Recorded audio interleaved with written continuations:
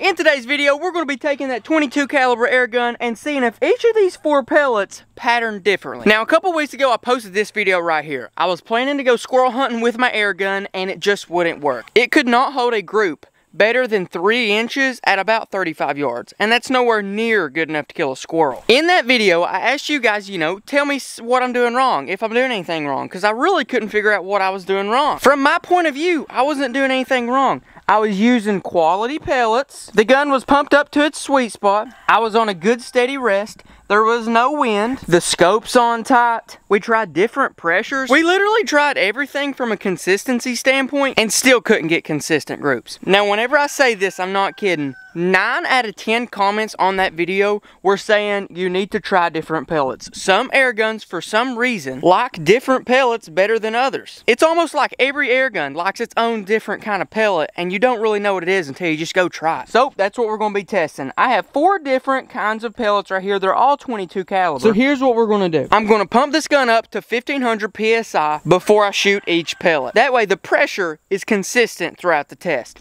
I'm going to be shooting the same range, same distance, same gun rest, same gun, all that stuff. Nothing is going to change except the pellet. So I'm going to pump up the gun to 1500 PSI, shoot three of these.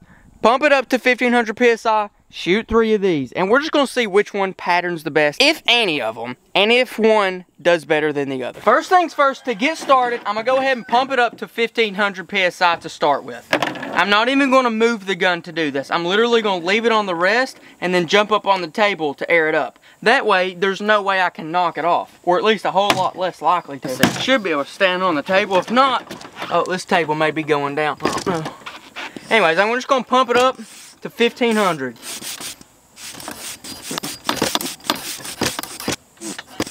Alright, there we go. Now, even though this gun is capable of holding up to 2,000 PSI, and shoot all the way down to like 800 PSI, I'm still going to set it at 1500 because some of you guys in the comments said that air guns have a sweet spot right in the middle of their pressure capacity. Now that it's full of air, let me go show you the box so that y'all know what I'm talking about. And you guys can see what we're shooting. All right, this is what I'm shooting at. We're 35 yards away. I have poked four little holes in the cardboard and they are pretty evenly spaced. Now, if we, for some reason we get groups that's really stretching over here and getting confusing, that, that's not the pellet we want. That's as far as we need to know, okay? What I'm looking for here is from an air gun 35 yards away. I want to group it no more than that, like an inch. If I got one stretching way over here, that's already like a three, four inch group. That one's definitely off the table, but I'm just gonna be shooting these right here.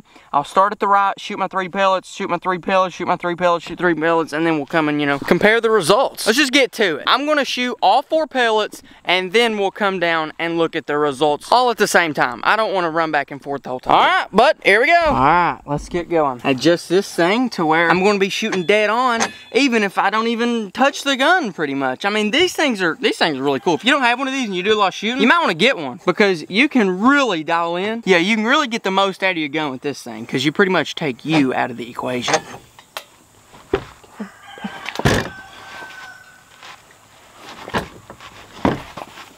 The heck out of here, dude. what that was, but he got the smoke. All right, we should be locked in pretty good right here. First pellets we're starting off is the pellets I used in the last video. These right here, Daisy 22 caliber pellets. It's uh, It says it's premium grade, precision max. I don't know about that, dude. They were shoot. Oh my goodness, I don't even want to get started. But apparently some pellet guns, especially PCPs that are stronger and stuff, apparently they like a lot heavier pellets better.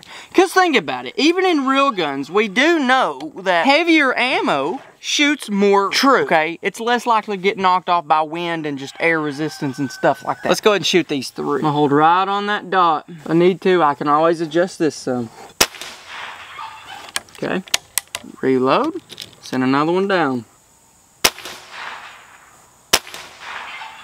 I gotta go show you guys the target. This, that's, that's, wow. That is, remember these boys. And here's the weird thing though, I would tell you don't go buy these, but at the same time, apparently it's just my air gun that doesn't like them. Your air gun might really like these. I don't know. But I have heard from a lot of people that daisy pellets are like literally garbage, so just saying. Here's a close-up of them. And let me show you how great they are. Let me just say this. The reason I'm walking up to the target now instead of shooting them all four and then walking up like I planned is because it actually messed them up. Okay, long story short, I was aiming over here and it messed up our entire target board and hit way over here. Regardless, our pattern is one, two, three. That is a solid two inch. And I just want to say this, if we'd slung more pellets, I think our group would have just widened up. Not only is it off target, which doesn't matter that much, but the grouping is what does matter. That's terrible. The reason I wanted to walk you guys up here is because now I'm going to have to shoot this next pellet over here because the first pellet decided to just run over here and do that. I don't know, guys. I don't like that pellet. I don't like it. Imagine if I went squirrel hunting with that. That's terrible. But don't let me jump the gun right here. We've not tested the other pellets. It might might be a bad gun. I don't know that yet. But one thing's for sure, that gun with those pellets,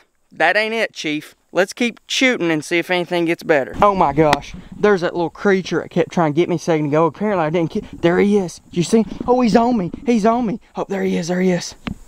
There he is. I ain't got a clue what that thing is. He's about to get the smoke again, son. He thinks that's his gun. It ain't, brother. Mine. Let me see what I got back here in the Defender. I got the AK. I think that's a little overkill for a bug. I got this thing. I may have to use it. I got the machete, but I don't think I need that. About to knock the brakes off this guy. I knocked the brakes off of him? Yeah, you did. You dead now, son. Get the heck away from my gun. What even is that? I cut him in two. He deserved it. He did. All right, now let's pump this bad boy back up to 1500 PSI. And you may be saying, KG, you may have just, you know, knocked the gun off. You just beat it over the head with a bag. Maybe, you know, that's a good point. But I think we'll be all right. Let's just pump this right back up to 1500 and then we'll move on from there.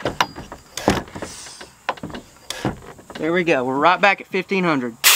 Next pellet we are going to shoot are these right here. I don't know what they are. They don't have a brand on them or at least they don't anymore. But I'm sure that if they shoot good enough, some of y'all can tell me what they are. They might be Gamo. I'm not exactly sure, but they do have a really pointy tip. Some of y'all said that pointy tips, even though they look good, aren't actually very aerodynamic. So their ballistic coefficient, which is how good something flies through the air, is bad. Once I thought about that, I was like, you know what? Elon Musk did say something about that. Maybe I didn't fully understand him because I'm not a rocket science, but it seems like I did hear him say that pointy rockets don't fly as good as round rockets. Now, is this rocket science? That is. This is just an air gun. Anyways, let's shoot this dang group, see if we can get even better. Okay. Alright, just from looking at it, this one's definitely, you know, on target better. Let's see if it can group. Okay, okay. From what I can see through the scope, not bad, not bad. We're looking at a pretty decent group. Okay, I'm pretty satisfied with that. Like I was saying, we'll go back later and actually check it out. I'm gonna pump this bad boy back up and we'll go back out there and we'll keep shooting three more bullets. Next, we're moving on to these right here. These are Gamo Match. These are not pointy on the front. On the other hand, these are actually quite flat. They're blunted. Now, I don't know. I've never shot much like these. I've never really shot a ton of pellets in the first place. But I've definitely never shot none that's flat. Maybe they'll shoot better. I don't know. Maybe they're heavier.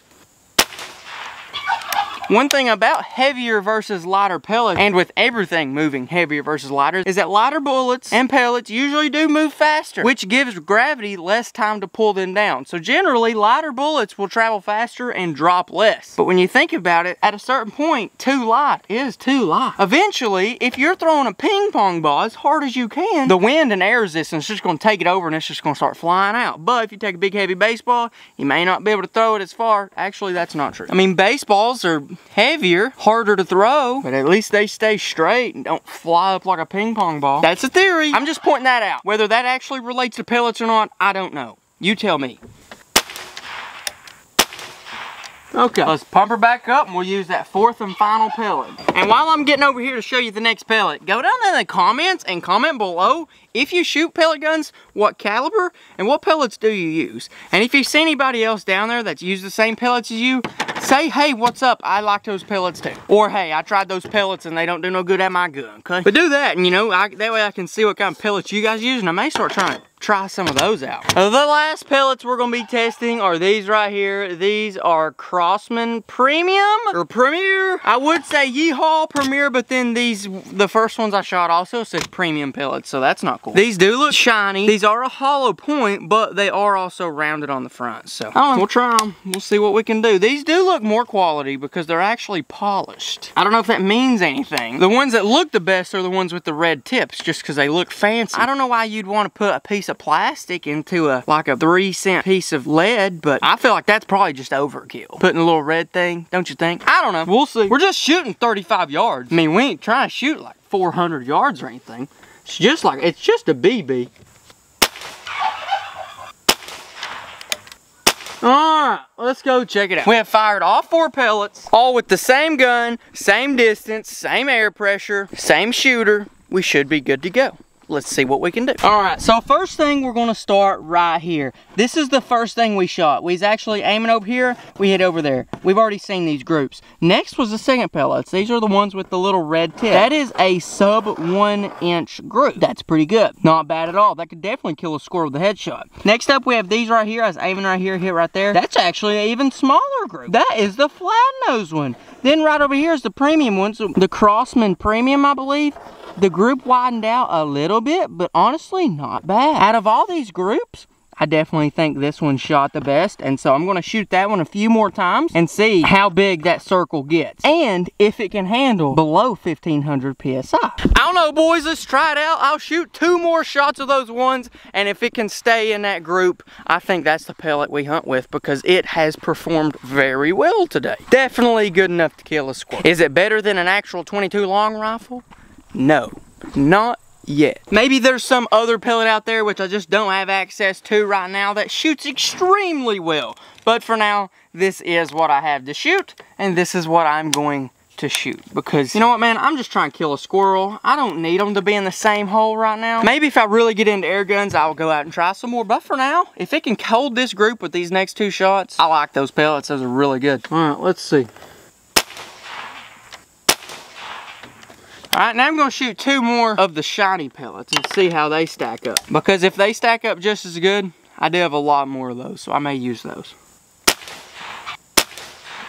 All right, let's go check them out. Hey, what's up, Kanye? Okay, final five shot group at 35 yards. Right here, we're looking at that, plus one way over here. Not bad. This one right here, we're looking at that right there, plus one way over here. If we cancel out the flyers of that one and that one, those are the two groups we're looking at. Keep in mind that one of these was in the same hole that I was shooting at. So at the end of the day, that's what I'm shooting with. Honestly, I think I'm gonna go with these because I do have like 450 more than the other one. Overall, that's pretty good with an air gun. And this over here, yep, that's what I was shooting. That just ain't gonna cut it. That shouldn't cut it with anybody. Honestly, yeah, that's not good. That's not good at all. I don't care who you are, that's not good. Subscribe to this channel if you're not already. This is my second channel. There's a good chance you're not subscribed. If you want to watch a full video of me actually unboxing that gun and some of the more specs and whatever, you can click right over here or right over here. For all of my second channel videos, click right down here to subscribe if you're not already. Good morning, Kanye.